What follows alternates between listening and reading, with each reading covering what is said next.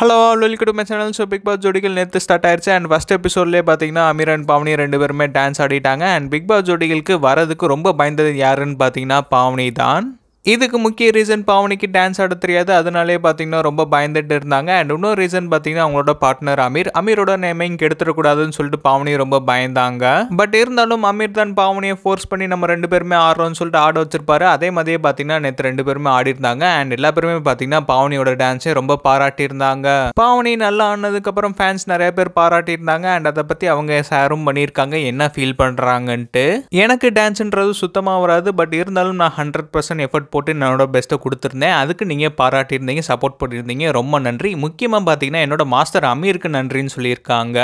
அமீர் சொல்கிற மாதிரி நான் இன்னும் லேர்ன் பண்ணிட்டு தான் இருக்கேன். என்னோடய லைஃபே அப்படி தான் இருக்குன்னு சொல்லியிருக்காங்க. இதுக்கு அமீர் என்ன ரிப்ளை பண்ணியிருக்காருன்னா இன்னும் நிறையா கற்றுக்கோங்க நீங்கள் ரொம்ப ஹார்ட் ஒர்க் பண்ணுறீங்க கண்டிப்பாக சாதிப்பீங்கன்னு சொல்லிட்டு அமீர் பாவனையை பார்த்து சொல்லியிருக்காரு.